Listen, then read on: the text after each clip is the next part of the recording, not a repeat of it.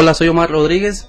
Este, yo, es- yo mi México del futuro que veo, veo un gobierno limpio, sin corrupción, más apoyo a la educación, ya que un pueblo sin educación no hay cultura, no se espera nada de una nación.